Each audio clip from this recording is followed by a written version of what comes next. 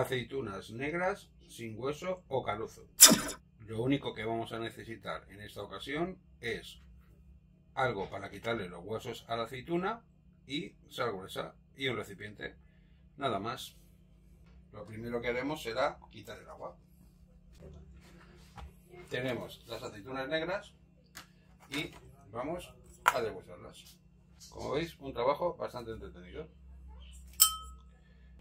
Mejor volvemos en un rato. Bueno, pues después de destrozar unas cuantas olivas, como veis aquí, y tenemos los huesos que no lo vamos a tirar, pues lo que vamos a hacer es ponerlas con sal gruesa.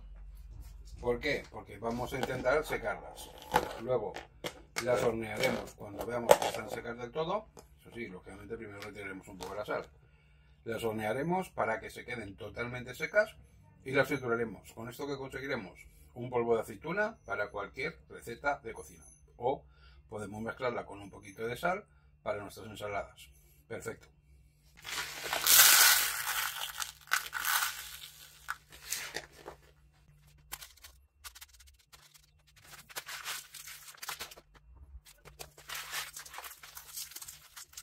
Pues nada, vamos a dejarlas en sal gruesa y a que.